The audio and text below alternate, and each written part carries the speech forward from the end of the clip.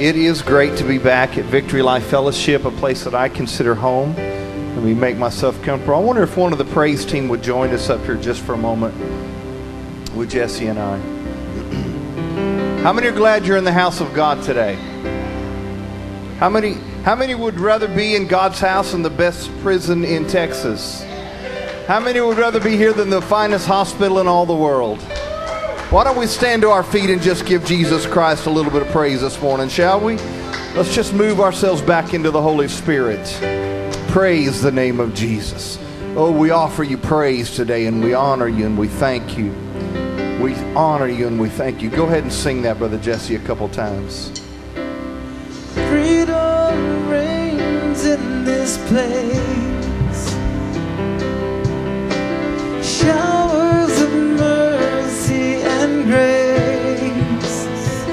They are falling on every face. Come on, let's sing for a moment. There is freedom.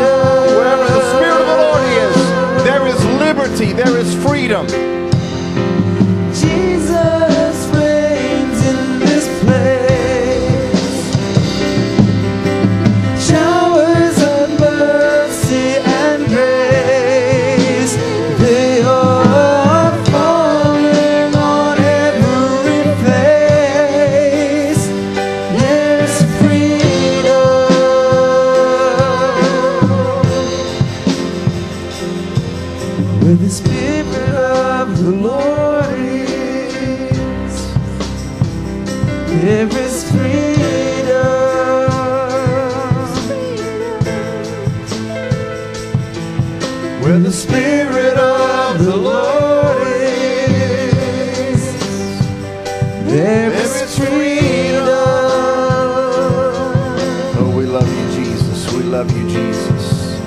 If you're tired and you are thirsty, Is that how anybody feels this morning?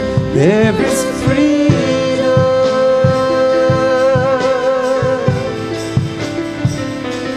If You're tired and you are thirsty. There is freedom.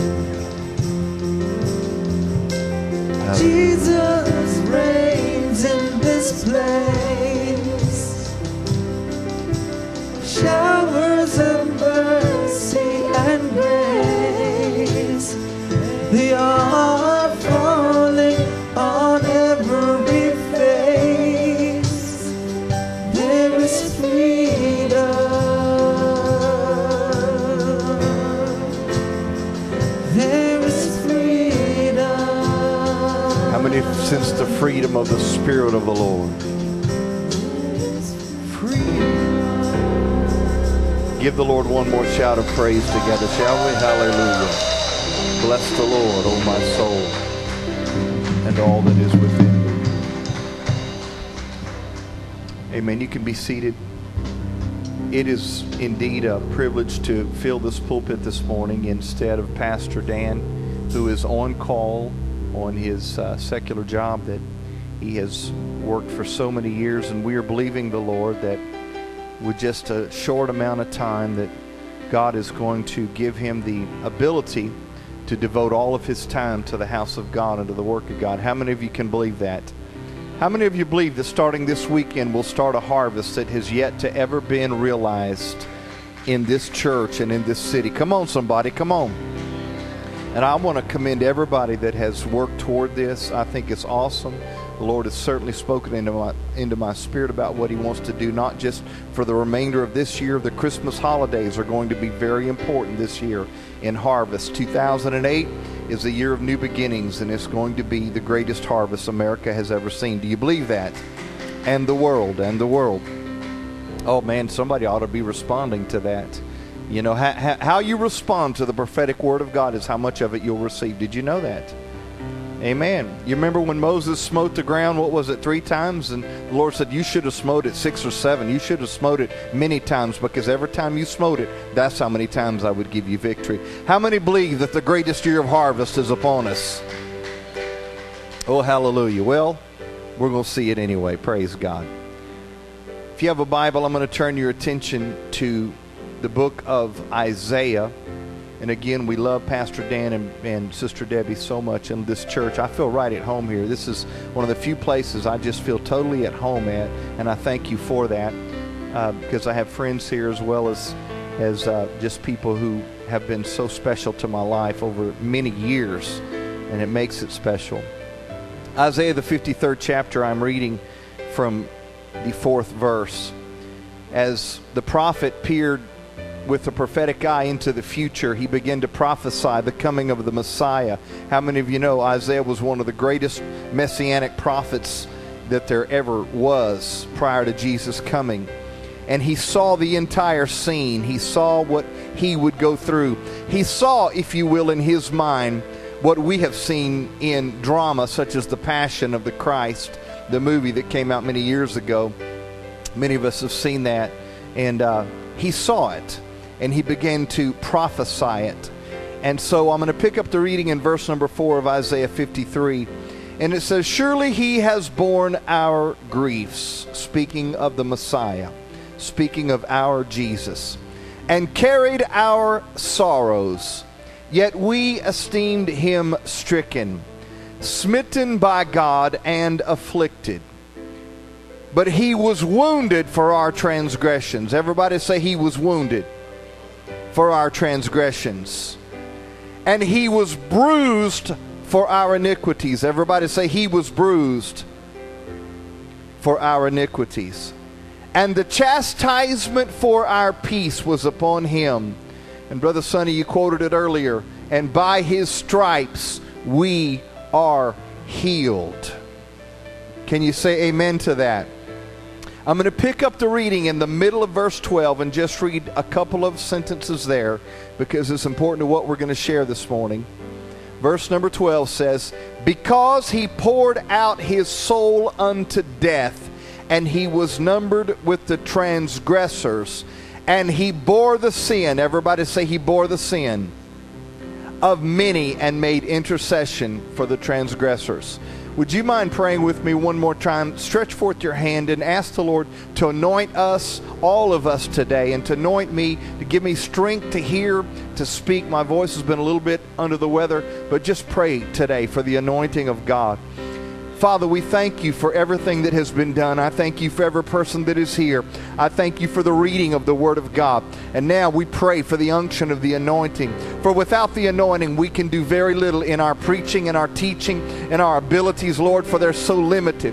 But with your anointing and with your Spirit, all things can be done. And it is the anointing that destroys the yoke. And I pray for that anointing. Everybody say, Lord, anoint my ears to hear Now, Lord, I pray that you anoint my mouth to speak, Lord, that we would hear clear the voice of the Lord this morning. We pray over this in Jesus' name. And Satan, the Lord, rebuke you from God's people this day in Jesus' name, for the word of God is going forth. And everybody said, Amen. Praise God. Will you help me preach for a little while this morning?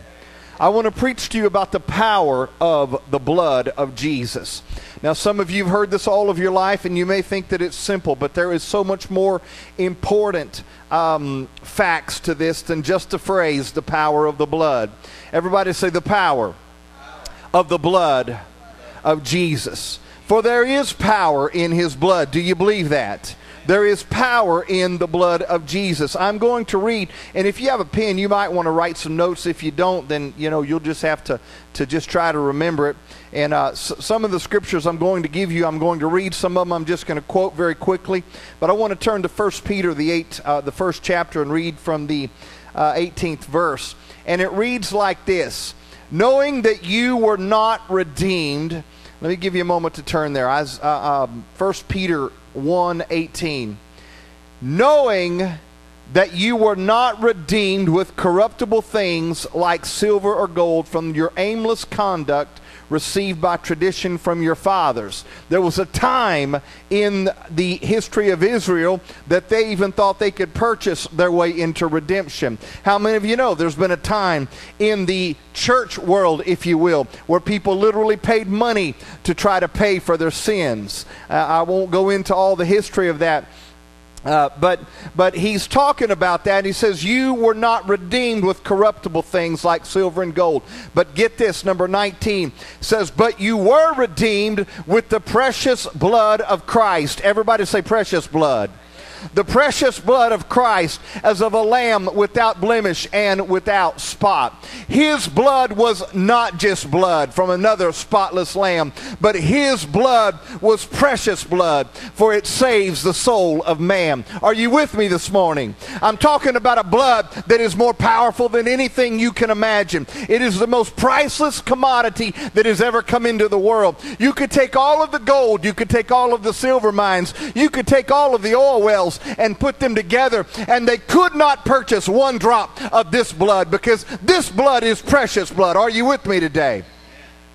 There are a few things in life that are precious, that are so precious they were without price. One of them was standing up here with her grandmother this morning. How much would you give for that child? There is no price, you see, because she is priceless. She came into this world as a gift from God. She is a life that was born into a family of God, but she is a gift of God. Are you following me today? There is no price for one such as that. And this is what he's referring to when he says precious blood, because you cannot buy this kind of redemption because this blood is so powerful. What, what is so powerful about it? Well, the Bible talks about the life being in the blood. Let me turn you to Leviticus. I'm going to read, first of all, I believe, in the 17th chapter of Leviticus. If you have a Bible, certainly turn there.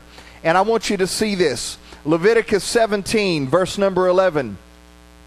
For the life of the flesh is in the blood, and I have given it to you upon the altar get this, to make atonement for your souls.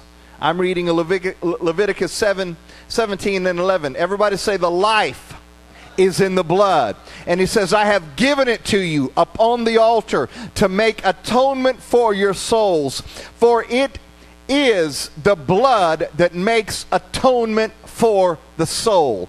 How many of you know since the beginning of time it was the shedding of blood that redeemed mankind? It was all something had to die. Blood had to be given. The most precious thing you have in your body is your blood. Did you know that? The most precious organ that you have is your heart. If it ever stops, life is over for you. Am I right? Because the blood has got to flow throughout your body. This is how powerful blood is. The life of everything that we know is in the blood and the blood is powerful. The blood has been the cleansing, purifying, atoning, and healing agent that God has used for mankind since man became a sinner, since Adam and Eve. Am I right? Do you remember when they sinned in the garden? What did they do? They went and they sewed fig leaves together to try to cover themselves, which is what mankind has been doing for years, sewing together fig leaves. We call it religion. It can be Islam, it can be Buddhism, it can be Christianity, it can be all types of things that we do where we sew together our fig leaves and we try to cover our nakedness before God. We try to cover our shame. But let me tell you, there is nothing that can do it except for the shedding of blood. God even came onto the scene and he looked at Adam and Eve and he said, I know what you're trying to do, but he said, What you don't understand is every time that a sin is committed, blood is demanded by me. And so he slew animals and he took the clothes of those animals and he clothed his own children in the clothing of animals. Why? So that they would remember that it was blood that covered their nakedness. Everybody say there's power in the blood of Jesus. What kind of power? It's the kind of power that saves us. It's the kind of power that purifies us. It's the kind of power that cleanses us. It's the blood that heals us, renews us, sanctifies us, and protects us. Do you believe that today? John 6 54 says, His blood has eternal life in it. God said, My, or Jesus said, This blood, my blood, will have eternal life in it. It's not blood that will just roll your sins ahead for a little while, but it is life changing, soul redeeming, heart cleansing blood. And everybody needs the blood in their life. Are you hearing me today? And it doesn't take long for the blood to be applied. It doesn't take but just a second in time for God to apply His blood to your life. Everybody say there's power in the blood of Jesus. Acts 20 27 says it like this He purchased us, Jesus purchased us with His own blood. Priceless. How important are you to him? You're priceless. He gave pri- he gave the highest price that was ever paid for you. Everybody say he did that for me. Because he loves me. He gave his blood for me. You'll never understand how much he loves you until you get the revelation that had you been the only one on the earth, he would have still come and still went to a cross and still died just for you to be saved. Oh, don't you love him for that? Revelation 1 and 5 says, Jesus loved us. Everybody say, Jesus loves us. And he washed us from our sin. And it says, in his own blood. Why? Because that was precious blood. Not the blood of, of goats and bullocks and not the, not the goat of turtle, the, the blood of turtle doves or whatever that, that the sacrifice might have been, a, even a spotless lamb. But his blood was so precious. Why? Because it is what makes us the children of God. Everybody say, his blood makes me a child of God. Oh, hallelujah. What can wash away my sins? Nothing but the blood of Jesus. What can make me whole again? Nothing but the blood of Jesus. We used to sing that back in the old days in the church. What can wash away my sins? And then we would sing, There is power, power, wonder working power in the blood of the Lamb. And I am one who knows what that power can do because He transformed my life as just a young man. I was headed to hell as fast as I could get there. But, Brother Sonny, the blood of Jesus came into my life and it made all the difference in the world. Oh, somebody give the Lord a little bit of praise this morning for the blood. I was raised in, in, in Pentecost, or, or, when I got saved, it was in the Pentecostal church, and, and we were we were very uh, exuberant about Acts chapter two, and I can quote you know the first many chap first many verses of it because you know in the beginning you know it's, it's so important to understand that.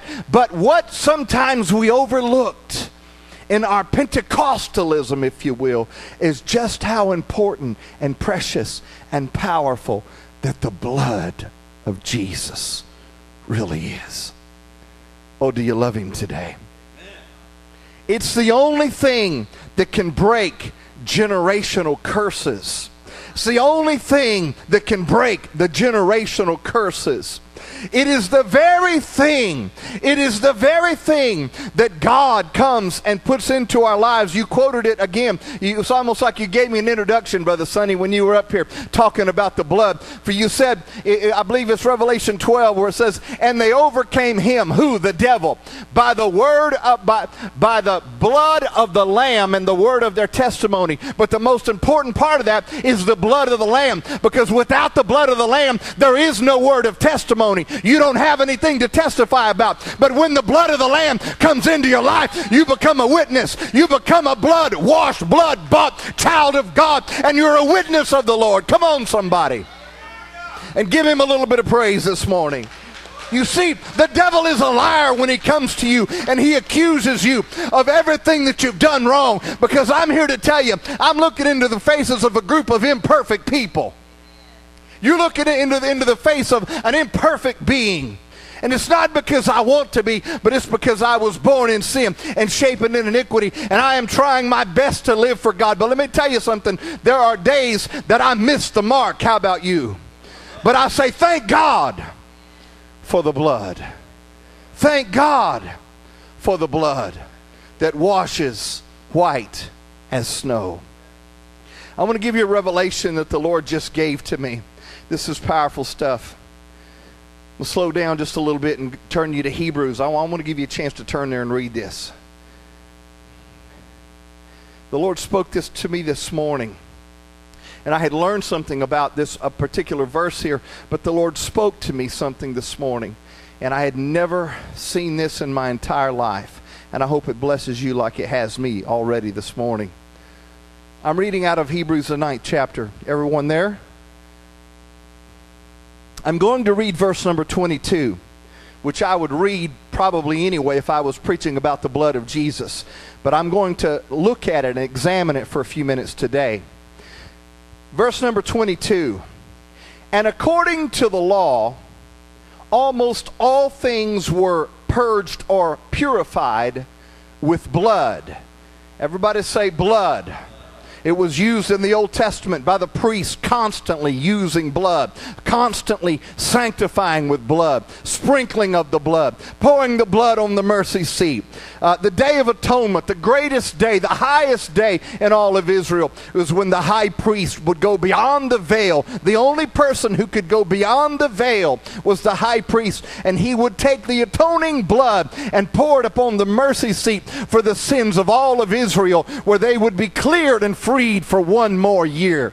And it was a celebration time after that. Everybody say the power of the blood because God would look down upon the mercy seat and he would say, Okay, there's blood there. I'm going to withhold my judgment from you.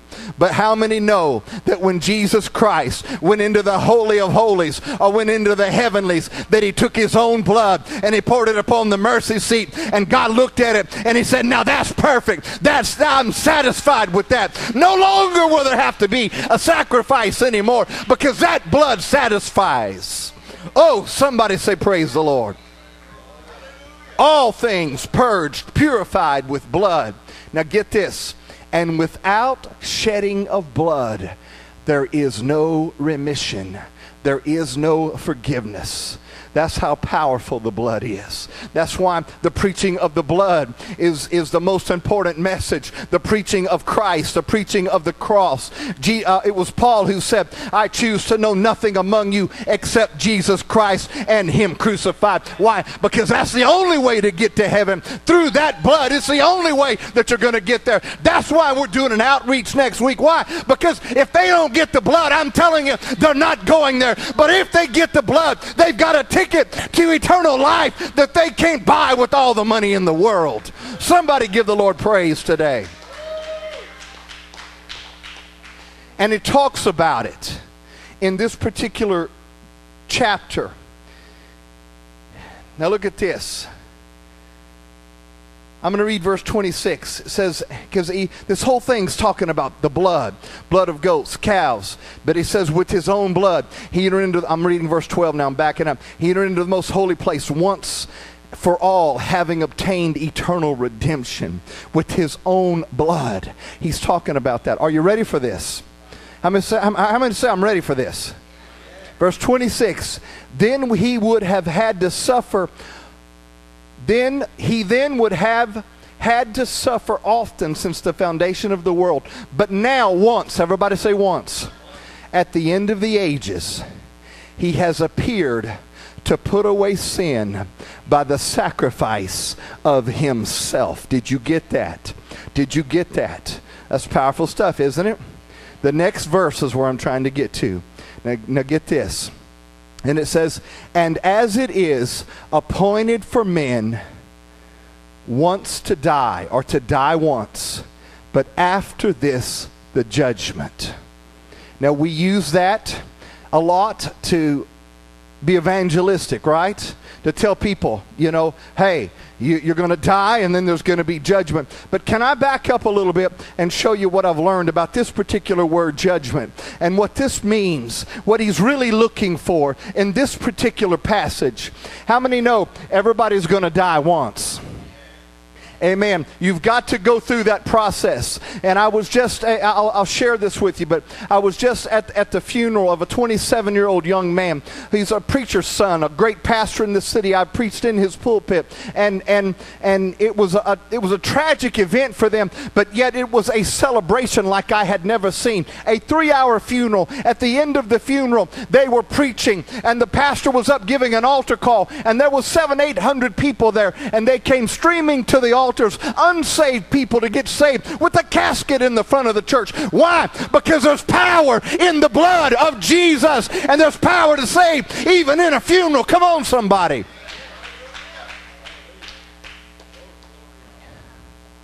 Everybody says appointed once unto man to die, but after this, the judgment. Are you ready for this? This particular word, judgment, from the Greek, is literally where we get our word forensic from. Forensic is a science. We use it a lot in criminology. How many have ever heard of a TV show called CSI? Crime scene investigation. Those are criminologists, they're crime scene investigators, and they use a science called forensic. This particular word is where we get the word forensic from. Are you still with me today? All right, come on, don't don't don't, don't leave me just yet. You got to get this. And and what happens? Listen to me. When when you when you die and you're going to stand before God, we all think he's going to look at us and he's going to try to find the sin in our lives. No, what he's going to be looking for is one thing. He's going to be looking for his blood upon your life. He's going to be with forensic science looking at you and examining and saying, Where is the blood? Is the blood applied? Is the blood there? Because if it is, he's going to say, Come on in because of the blood of my son. Come on, somebody, and give him praise. When the death angel came through to Israel, what was the death angel looking for? The, the death angel didn't peer inside of the window to see what was going on. The death angel didn't come by to say, Have you lived your life just perfect? The death angel came by and he looked and he said, Is there blood upon the doorpost? And if there was blood upon the doorpost, then everything was all right. You were going to pass over. Are you with me? You were going to pass over into the promised land. Everybody say he's looking for the blood. Blood's a powerful thing. I said, blood is a powerful thing. I mean, you know, we have such high technology today and forensic science that if they find blood at, at, a crime scene, they can pretty much figure out who done it. You know what I'm saying? I heard a story about where there was a murder committed and they covered it up with four, four coats of paint on the wall four coats of latex paint upon the wall, oil based paint. Is that oil based, brother? The latex? What's the one it is? Whatever, okay. I, I know he's painted some for me before. he knows paint. Praise God. Whatever. The good stuff, all right? But do you know that they have lighting now that can come in? It's some type of a, a, a powerful uh, light and, and, and they can shine it. And, and even through four coats of paint, they could find the blood from that crime scene. How many know, even when, when they go, they're always looking for what? What's the one thing they're looking for? Blood. Why? Because blood is evidence. In the blood is the DNA. You can't escape your DNA. You're the only person who has your DNA. But aren't you glad that there is one who came into the world, that he had a DNA that was above every DNA in all of the earth, and his name was Jesus, and he poured his blood out upon the mercy seat, and that blood is applied to your life, and all God's looking for in your life is is the blood there. Oh, somebody give him praise. You ought to get happy about that. Whew. Can I keep going for just a little while? Praise God. Gives us a little bit of hope, doesn't it? Praise God. Because I'm telling you, if I had to go before the judgment on my own, I would be completely lost. And so would you. Don't act so perfect. Don't act so religious today. But if you've got the blood, if you have the blood applied to your life, He's looking. His forensic is looking for one thing not were you perfect, but did you heed? Did you be covered in my blood? Everybody say the blood of Jesus is powerful. I want to turn your attention to something that I know that you know and that you've heard, but I want you to see it because there's people here who haven't heard it and do not know this. But it's been a revelation that is literally changing my life and the lives of others that receive it. Um, I'm reading this time from Leviticus, the 16th chapter. And I'm going to be reading from one verse. Now, I could take you on several verses where this is in the Bible, but for time's sake, we'll just pick one out. Is that all right? Leviticus 16 chapter number 19. This is talking about the priest when he was doing some sanctification and he would go before the veil of the temple, the veil of the holy of holies. And there was many times that he would cleanse, like if he was going to cleanse a house or cleanse a leper, he would do something seven times. But it shows what he does here in the 19th verse of the 16th chapter. And it says, Then he, the priest, shall sprinkle some of the blood on it with his finger seven times. Everybody say seven times. Cleanse it and consecrate it from the uncleanness of the children of Israel. Everybody say, It is the blood that sanctifies. And the priest would do this on several occasions, but he would dip his finger, and one, two, three, four, five, six, seven times he would sprinkle it. And I know some of you have heard this priest, and your pastor has taught this before, and I've heard him teach it. I've heard him teach it in Africa, and and, and we and you know it's it's a message that really uh, I think Larry Huch probably first came up with, or Benny Hinn, but somebody like that. But I had never heard it before, but I have studied it, and I have let it become a part of my life. And do you know that the high priest who came from the heavenlies came into this world to sprinkle his blood in the earth seven times? Can we talk about the seven times just for a few minutes? I know some of you know it, but, but bear with those who've never heard it before. That when Jesus came into this world, he came. Has anybody ever seen the movie The Passion of the Christ? The word passion literally comes from what Jesus did in his final hours on the earth. That's the origination of the Latin term passion. It comes from what Jesus did. Why? And that's why we say when you do something, do it with passion. What does that mean? With everything you've got. And Jesus gave us everything he had because all he had was his blood. Oh, it wasn't it, it, it wasn't even even his his his nature. It wasn't it, it was what coursed through his veins that was the most precious commodity to ever enter the atmosphere of humanity. 13 pints of the most life-changing substance and he came into this world. And if you recall the movie, and I don't have time to be as graphic, uh, I'd love to just show it, but you know, you could see it. And I did that one time at a church uh, last year, or no, last spring, I think it was. I showed the Passion of the Christ, and at the end gave an altar call. And you know, people came forward to receive him just seeing that movie. I didn't preach, all I did was get up and give an altar call at the end of the Passion. And people came forward. Why? Because they saw how much he loved us, that he gave his all for us. Did you know that movie has won more Muslims than any other tool that has ever been produced? Why? Because they realize he loved us just that much. That he came and he gave himself for us as a sacrifice once and for all. But he shed his blood seven times. Everybody say seven times. You probably all know the first place that he shed it because you've been taught it here well. But the first place that he shed his blood, you know, you ask some people, where did Jesus shed his blood? And they said, he shed his blood on the cross, but he shed his blood in more places than just the cross. How many of you know that to be true? But the first place that he shed his blood is so significant for you and I because he did it in a place called Gethsemane.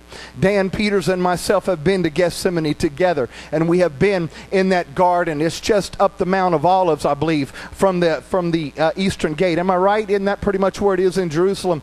And um, and everybody say, "We're glad Pastor Dan is here." Give him a hand. Amen. He made it. He made it. And I love this brother very dearly. So the first place that he went was in Gethsemane. And there is when he prayed. And he prayed with all earnesty. He prayed, and the Bible says he agonized in prayer. Why? Because of, of what he was about to partake of. Not just the suffering, but the drinking of the cup of every sin that would ever be committed on the planet. Every heinous crime, every rape, every molestation, everything that could be hideous and harmful, every devil worship activity. He he had to drink the cup of our sin. And he went into the garden and he prayed, and these were his exact words paraphrased. He said, Father, if there be another way, let this cup pass from me if it's possible that there's another way. But you see, it wasn't possible because we had to have the precious blood of Christ. We had to have what was flowing through his veins. And he prayed and he tried to get his disciples to stay up with him through the night. You remember, he was saying, Come on, pray with me. I'm in agony. I'm agonizing right now. But they fell asleep. But then he, the Bible says, but he prayed more earnestly even after that until something happened that is a medical phenomena where literally out of his sweat glands he began to bleed blood. Blood began to protrude. Why? It's a, it's a, it's a medical phenomena. They call it hematidrosis is the medical term, but it literally means bloody sweat. It is where the tiny capillaries in the sweat glands will burst under extreme pressure. I heard a man say he talked to a doctor who said, I have seen that happen over 100 times in my office when I would give someone news that was that they did not want to hear. Eh, maybe it was a, a sentence of, of there's nothing we can do, or you only have so much time left. And under such agony and under such pain, they would literally start sweating blood, sweating blood out of their pores. And this is the first place that Jesus shed his blood. Why? Because he finally got to the the place, Sister Kathy, where he said, Not my will, but thine be done. Why? It was in a garden called Eden that man, for the very first time, said, Not thy will, but my will be done. And he lost everything that we were supposed to inherit. But thank God that the last Adam came, the second or last Adam came, and he came into a garden and he said, What your first son lost in a garden, I will win back in a garden myself. But I have to pray and pray sweat out of my sweat, or blood out of my sweat gland. Somebody say, Thank you, Jesus. And when he did that, he gave you and I the ability one more time to do the will of God. Somebody say, By the blood, I can do the will of God.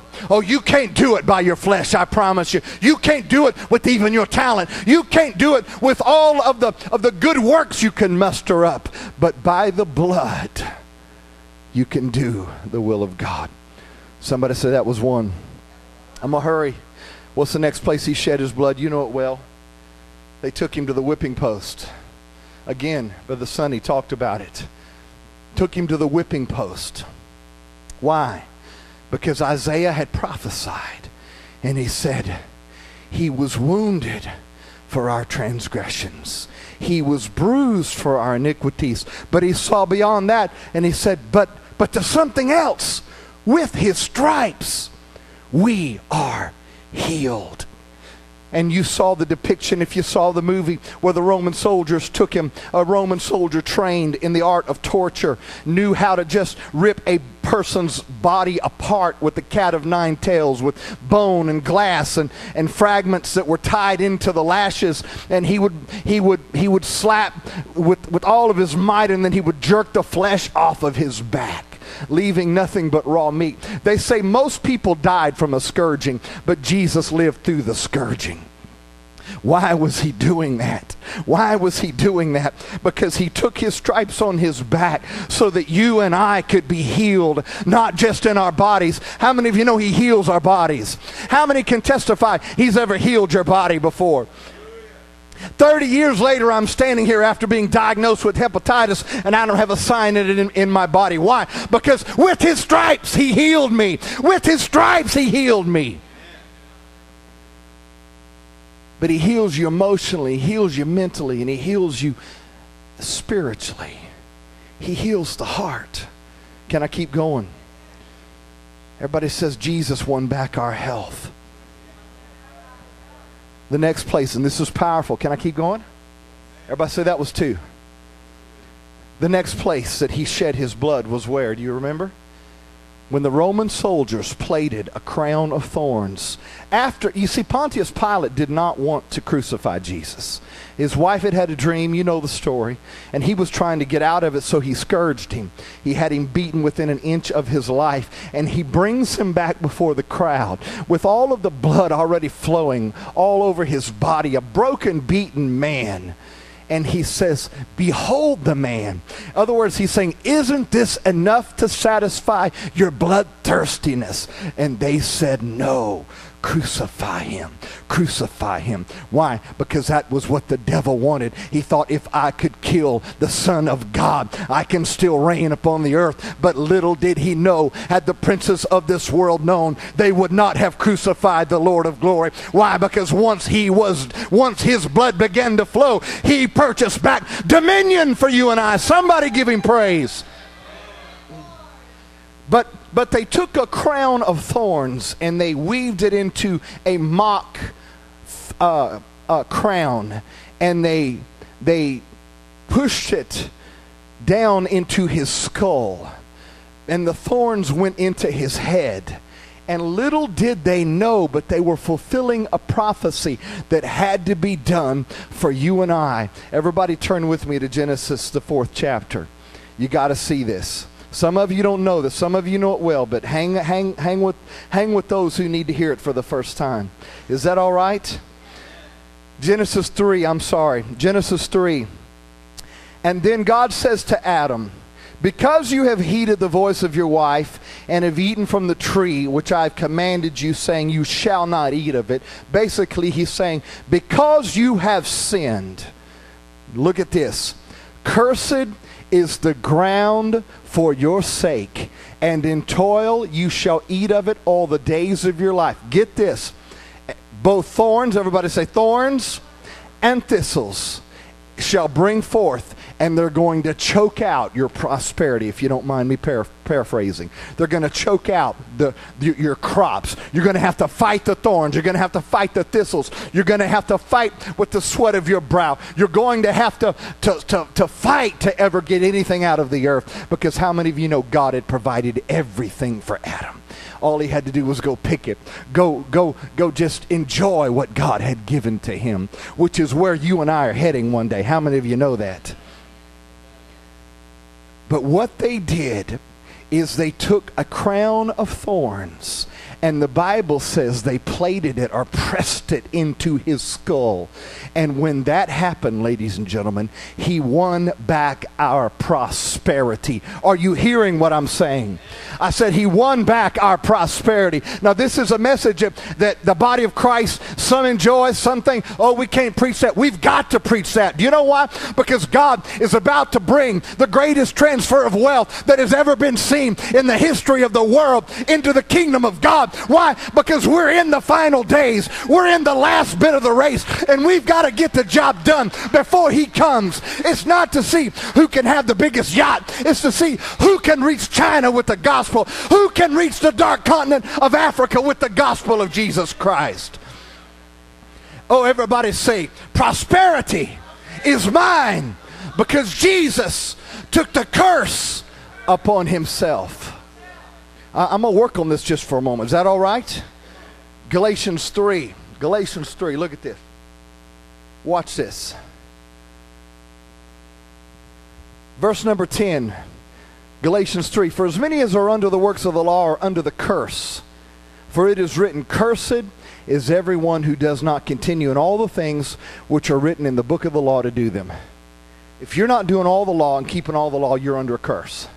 Right? And people who want to live by the law shall die by the law. Amen. I know there's a lot of great religions that do good works, but they do it based on law. The, the Koran has a lot of good philosophy in it. And let me just leave it there philosophy. Hello. But let me tell you something good works is not enough.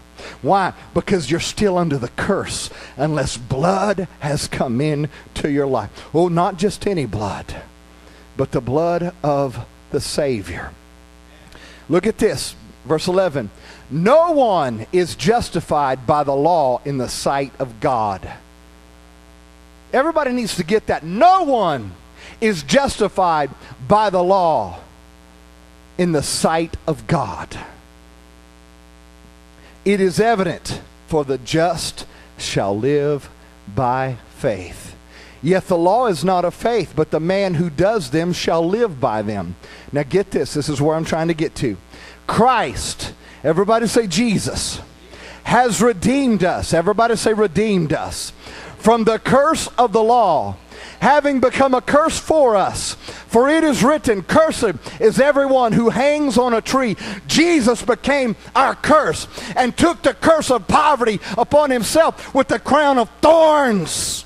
Why? So that the blessing, look at the next verse, the blessing of Abraham, who had plenty, the richest man in the earth, so that the blessing of Abraham could come upon the Gentiles through Jesus Christ, that we might receive the promise of the Spirit through faith. Everybody say, the curse of poverty is broken off of my life because of the blood of Jesus. Now, if you believe that, give him praise. Come on, give him praise.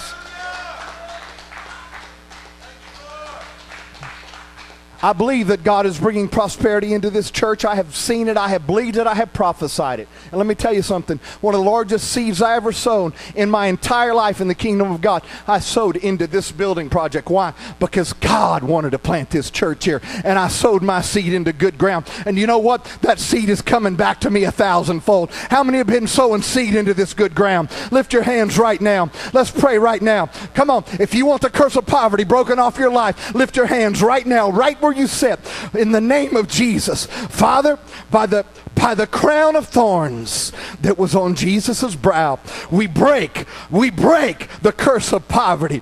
Oh, Rabaharashi Kondo Rabba, off of every life because you are sowing seed. And when you sow seed, oh, I feel the Holy Ghost right now. God is about to bring a financial increase into somebody's life like you've never seen it before. Somebody shout, Yes! Mm. Give him praise right now. I feel the Holy Ghost. Let's just stop for a moment. Pray in the Holy Ghost. Lift your hands and pray.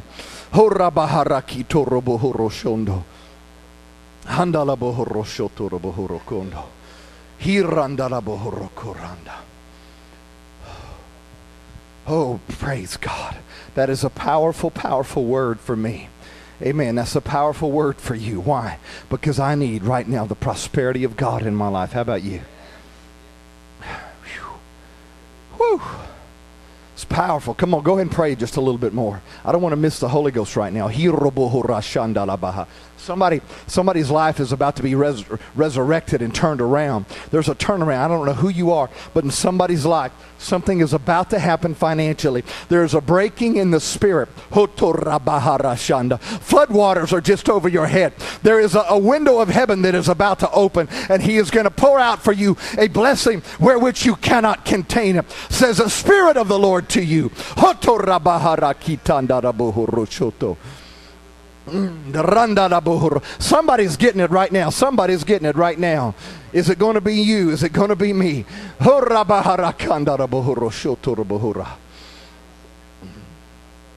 Glory to God. Whew. Pastor Dan Prosperity's coming to this house like you've never seen it in all of the times that you've pastored. Everybody say yes. Everybody say in Jesus' name. Everybody say amen. That means so be it. Whew, I can't hardly move off of this point. This is powerful for somebody. Thank you, Jesus. Thank you, Jesus. Wait on him just a little bit more. Lift your hands one more time. Come on, it won't hurt you a bit. His hands were pierced, they were suspended. We can lift ours. Oh, we lift our hands to you, Lord, and we say, Pour out, pour out upon us a blessing whereby we cannot contain it, that is overflowing, it's pressed down, it's shaken together, and it's running over into the kingdom of God, so that I am a conduit of blessing. I am a conduit of blessing. Somebody say, I am a vessel of blessing. I am a vessel of blessing. Oh, I feel the Holy Spirit right now in a powerful way. Go ahead and start playing, Brother Jesse. I'm going to bring this to a close in just a moment. Play softly, play real softly. Whew. If he starts playing, y'all will think I'm about done, right? Whew. Everybody say that's three. What was the fourth place? When they took our Savior's sinless hands the hands that had touched the fevered brow, the hands that had, had touched the widowed child, the widow's child, only child, raised that from the dead, the hands that had hugged children that ran to him. They took the sinless, spotless Savior's hands and they laid them out upon the wood of the cross. And they began to drive those huge spikes through his hands as his flesh quivered under the, under the awesome pain that he had to endure. But what was he doing? Everybody say, Jesus' hands were pierced and blood flowed from his hands. Why?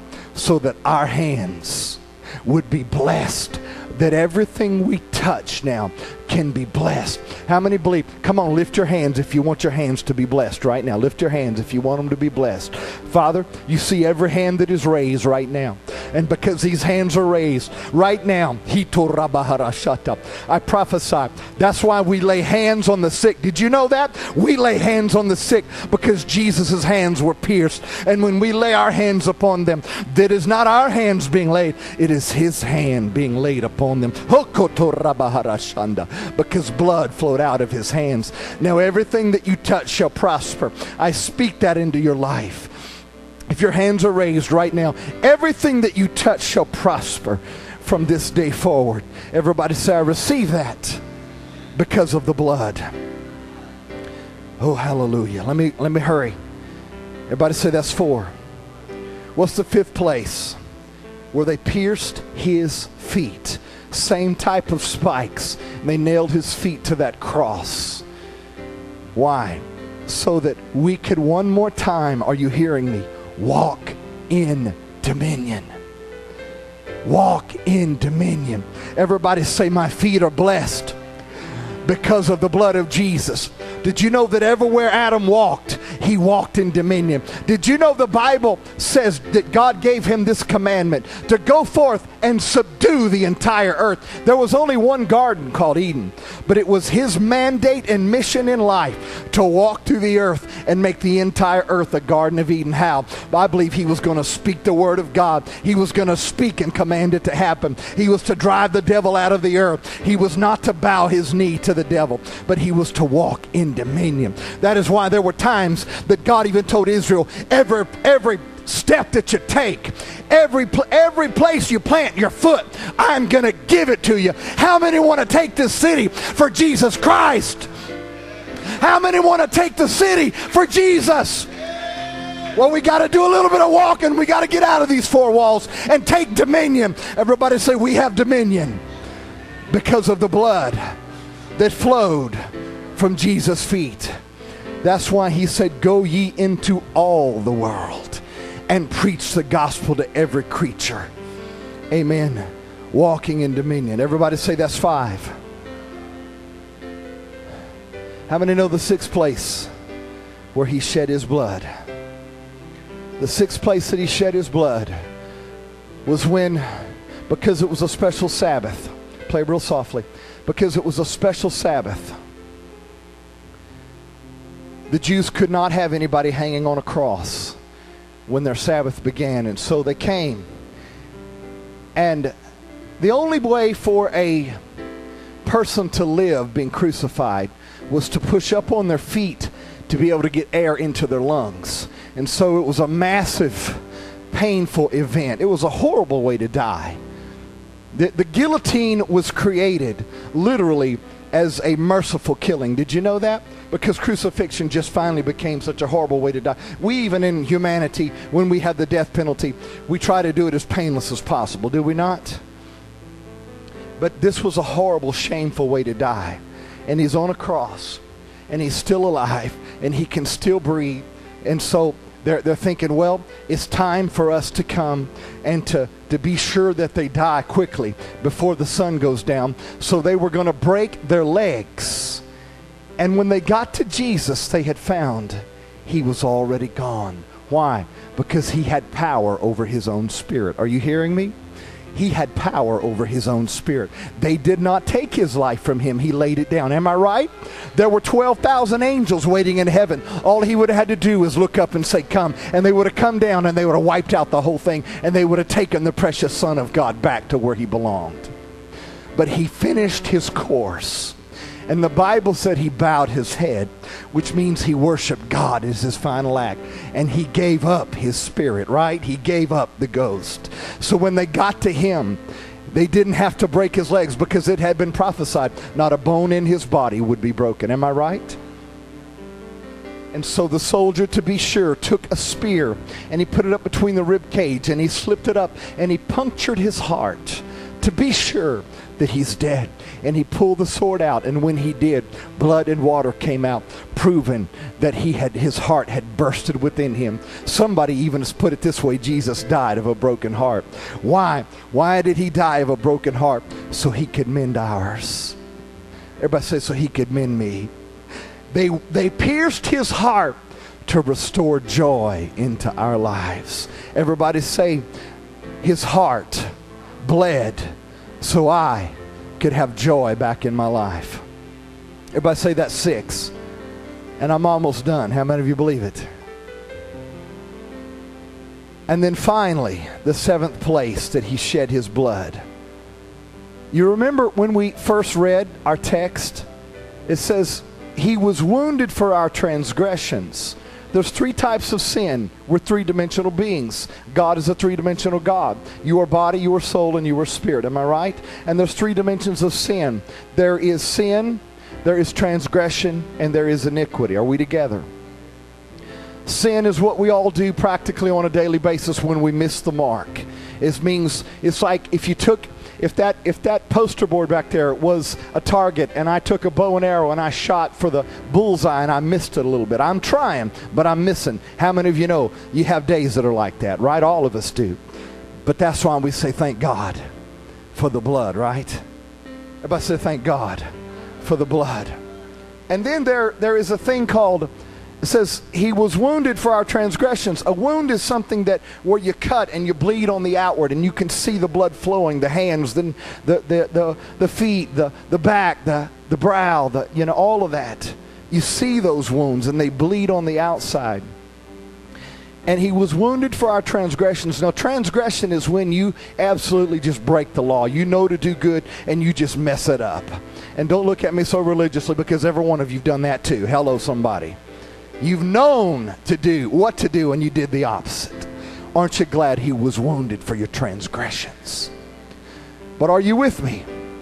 But the Bible says he was bruised for our iniquities. Verse 12 said he bore the sin of many.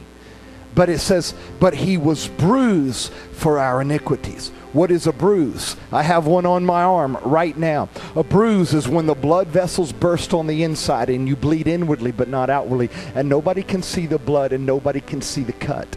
They might can see the, the, the bruise, but he bled on the inside so that he could heal us of all of our iniquities. Are, are we together? Are we still together?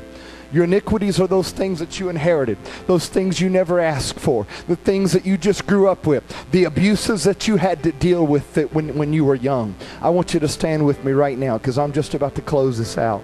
Oh, I feel the Holy Ghost.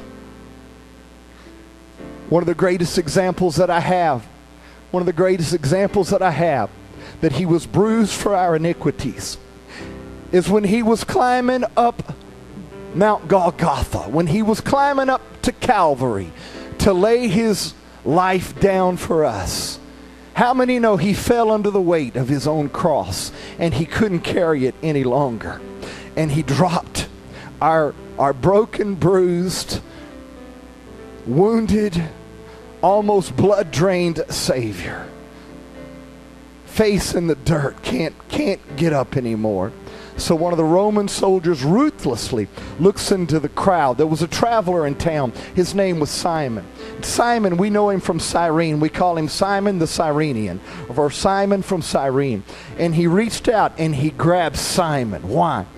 He just happened to be in the wrong place at the wrong time. But you might want to say he was in the wrong place at the right time. And he said, You! You know, sin has no heart. Death has no heart. Sickness has no heart. It doesn't stop to ask you, is this what you want? I didn't ask for many of the things that happened in my childhood, but let me tell you something. They happened anyway. But there was a Savior. Are you getting me? There was a Savior who was bruised on the inside for the things that I had nothing to do with. Oh, it wasn't my sin, it wasn't my transgression, it was my iniquities. And we can either let him heal us of them or we can carry them all of our lives if we want to. Are you hearing me? But Simon the Cyrene was pulled out of the crowd accidentally. Not not there was no there was no purpose. It was just random. He just John, he picked you and said, "Come here." He said, You're carrying his cross because he can't carry it anymore. You know, some of us are carrying crosses that we never, never expected to have to bear in this life.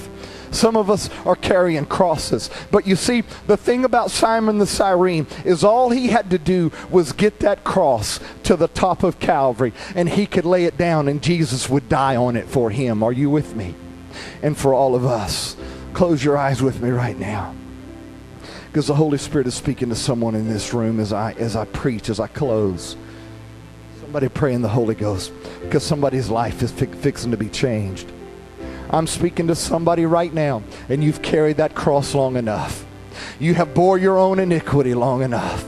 Jesus was bruised for the hurts on the inside, the things that you didn't have any control over. Simon, why? He's thinking, why me? Why do I have to carry this? You don't have to carry it forever, Simon. Just get it to the top of the hill. But some of you have been bearing a cross that's not yours to bear. It's not yours to die on. We all have our own crosses, but this is not one. This is one that somebody else thrust on you, and I'm talking to you right now. And the blood of Jesus is flowing in this room right now. And He's come to deliver you from that iniquity, to deliver you from it. I don't know who you are, but I'm going to ask everybody that will to walk up to the front with me right now. Just step up here. Take a few steps toward freedom.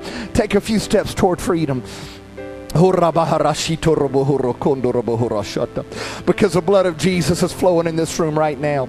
And let me tell you, the hardest sin to get rid of is that iniquity because it's on the inside. We can hide it so well, others can't see it. We mask it, we dress it up, we put smiles on our faces when we're really hurting inside. But Jesus said, You don't understand. I was bruised for what's hurting on the inside of you. You need him to heal something on the inside right now. Lift your hands to him. Somebody needs to lay down a cross that's not yours to bear any longer. Are you hearing me? Lay it down and let him die on it for you.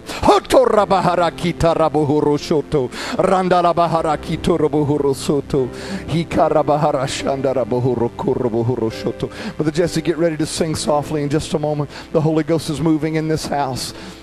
The Holy Ghost is moving in this house. God is speaking to you right now. Some of you, I can lay my hands upon you right now because the Lord's showing me what you're going through. You're going through a battle and you've condemned yourself. And He's saying, Stop today. Don't condemn yourself anymore because I was bruised. When you stand before me, I am not going to say to you, Did you live perfect? I'm simply going to look and see if my blood is there. He's looking for the blood. He's looking for the blood. He's looking for the blood. You see, Jesus didn't die and shed his blood for nothing. But he said it outwardly and he said it inwardly so we could be healed outwardly and inwardly. And you don't need to carry the pain and you don't need to carry the shame any longer, says the Spirit of the Lord to you. But give it up to me. Give it up to me. Sing, Brother Jesse, as our hands are lifted. Sing, Brother Jesse, whatever the Lord's put on your heart. Oh, Rabahara Shanda. And we praise you. That's perfect. That's perfect. Listen to this. Come on, lift your hands.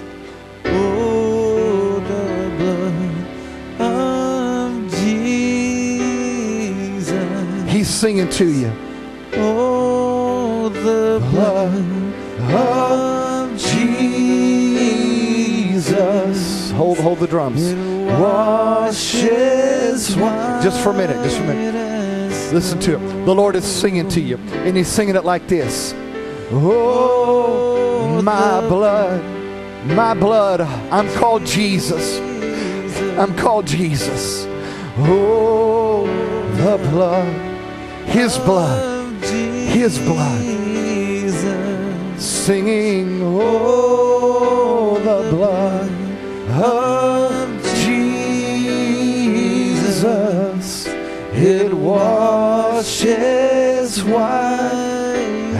snow. Sing it one more time like that.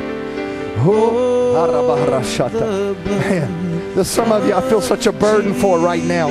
Jesus is trying to touch you. Oh, the blood. Oh, the blood. Everything's going to be all right. Everything's going to be all right. Oh.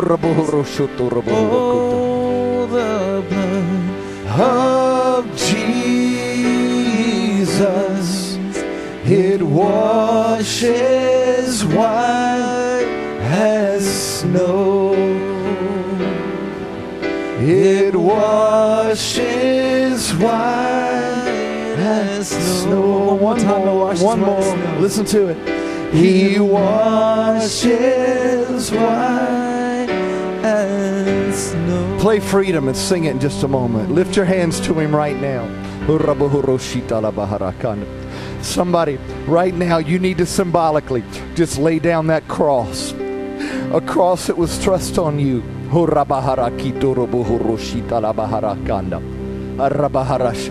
When your father walked out, hang on, hang on. When your father walked out of your life, you started carrying a cross and you've carried it for long enough. The Lord's saying, put it down. Because you've got a new father now and you're a new child. When your mother turned her back on you, didn't understand you. Come on, I'm talking to somebody. Somebody here that's been abused sexually, I'm speaking into your life. You were thrust a cross on you that you didn't deserve. You were just picked out of a crowd. It's not because that you weren't you weren't good or you weren't good enough. Jesus said, You're so good that I'll die for you. Jesus said, You're my hidden treasure in a field. I'll purchase the whole field just to have you. He's speaking to you right now. I'll purchase the entire field just to have you. That's for you. That's for you. Oh, somebody say yes. Sing it softly. Go ahead.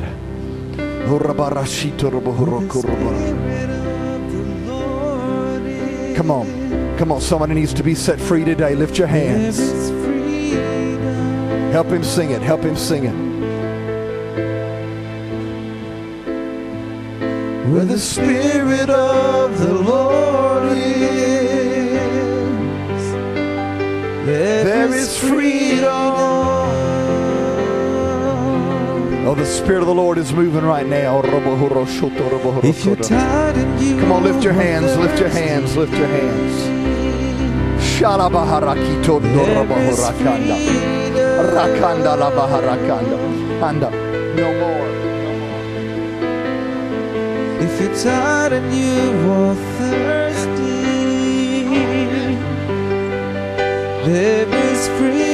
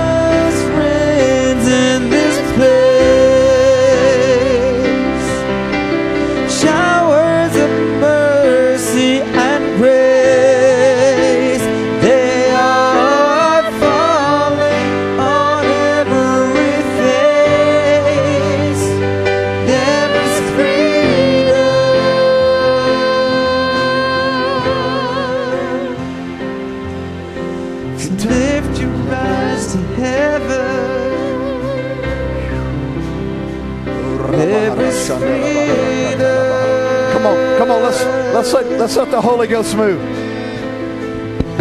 Let's let the Holy Ghost move.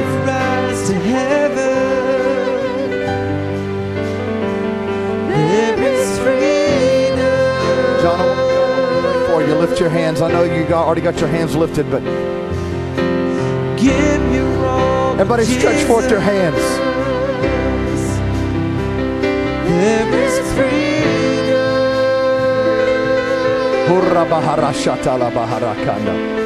Lift your hands. Giver of the Jesus. Ah. There is.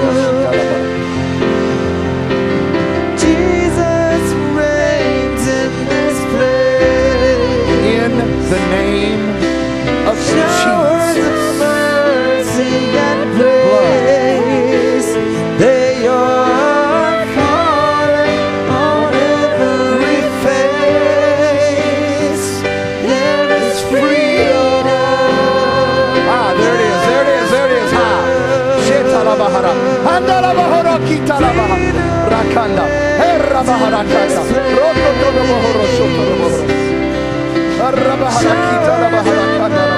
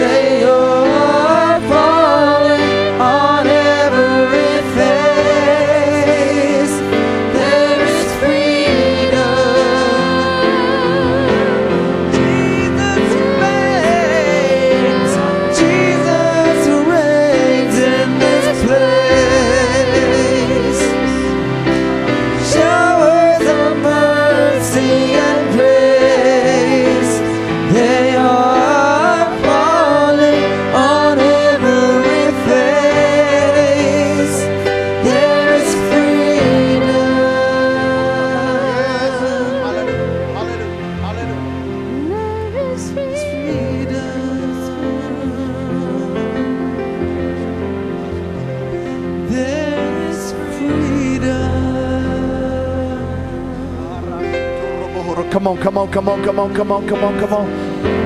Everybody stretch forth your hands. Keep singing it, Jesse. If you're tired and you're thirsty, sing it like that. Listen to this. If you're tired and you are thirsty, I don't care who you are. There is freedom.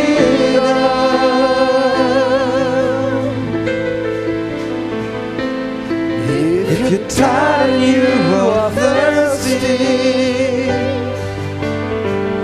There is freedom. Come on, freedom come on, come on, Jesus.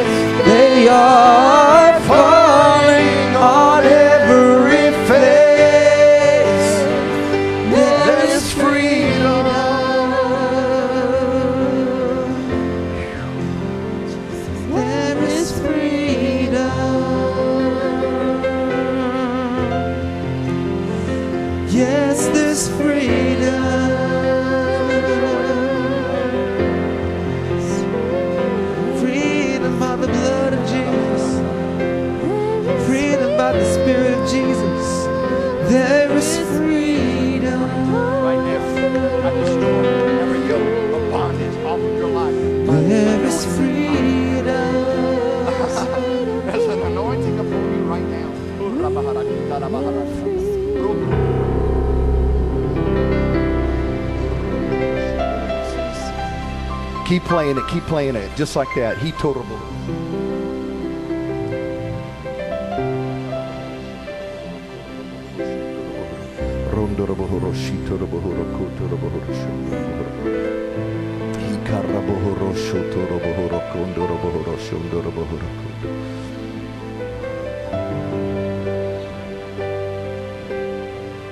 Huh?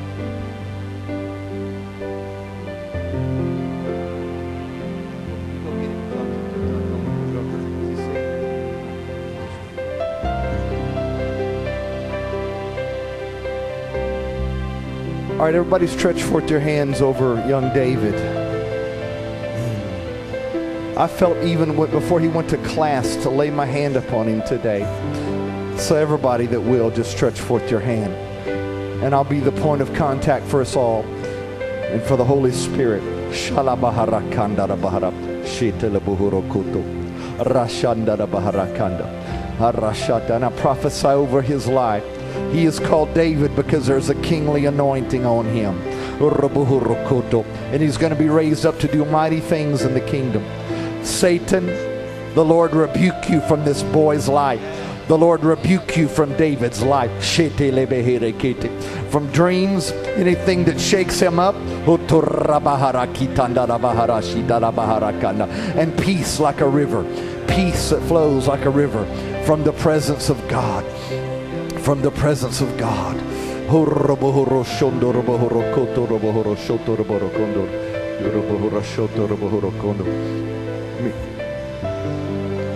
Let me- pray for you. Amen. Brother Peter, lay your hand upon him. Father, in the name of Jesus, I pray over your child, your son, right now. In the name of Jesus. Sing that part part that says if you're if you're if you're tired and thirsty because i feel like that you've been weary. You've been weary with well doing. You've been on a long journey. But the lord says i'm bringing you into a time of refreshing a time of renewal. I have not left you nor has my hand ever lifted from you says the spirit of the lord. But my hand is upon you even now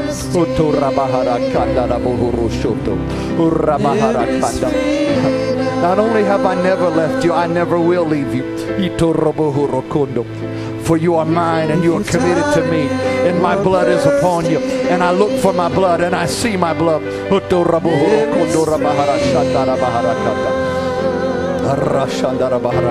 Minister to him, Brother Peter. Minister to him for a minute.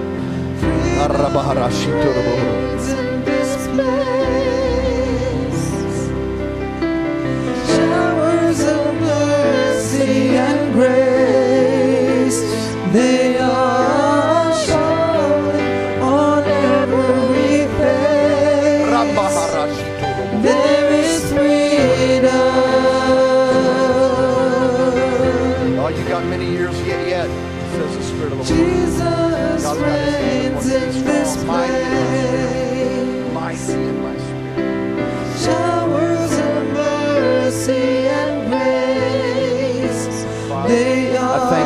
Sweet, sweet mother in the Lord. And Father, I pray strength into her life, into her body. Everybody stretch forth your hand. One of the sweetest saints of God on the planet right here.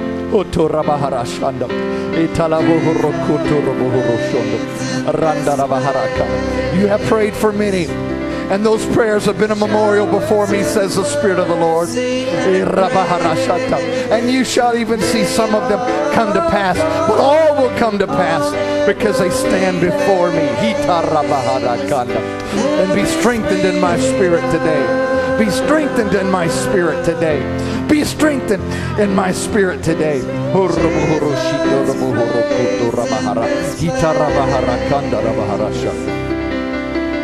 Showers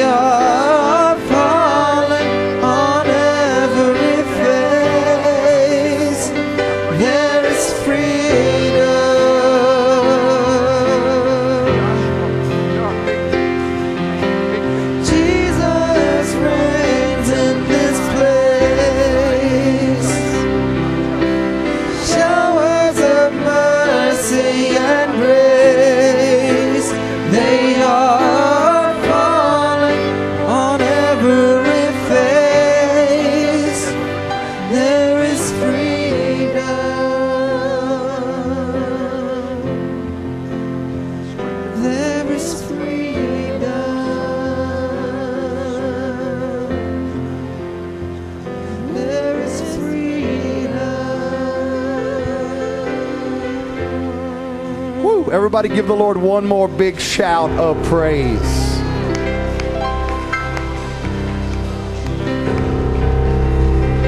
Sister Jody.